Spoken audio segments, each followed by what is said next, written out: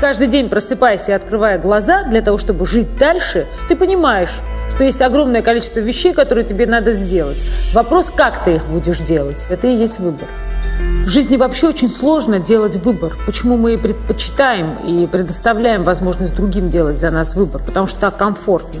И гораздо легче потом сказать, что это они ошиблись, эти люди, это они за нас делали выбор, мы-то хотели по-другому. Выборы 4 марта являются, на мой взгляд, одной из самых главных точек в новейшей российской истории. Конечно, очень важно, чтобы эти выборы были честными, потому что от результата президентских выборов зависит, в какой стране мы будем жить.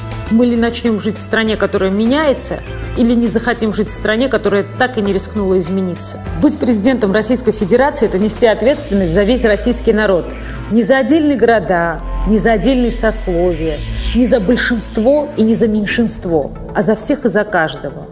И вот здесь очень важно, чтобы человек, который станет президентом Российской Федерации, был настоящим профессионалом. И очень важно, чтобы эта победа была честной и ее признал народ.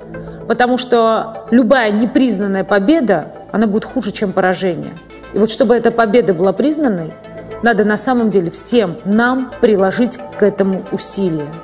Мы наконец-то уже выросли и готовы нести ответственность за тот выбор, который мы должны сделать. Это сейчас самая главная точка, точка невозврата. Мне абсолютно все равно, за кого кто голосует. Я считаю, что каждый человек должен голосовать за того кандидата, которому он доверяет. Но просто очень важно, чтобы этот выбор был осознанным.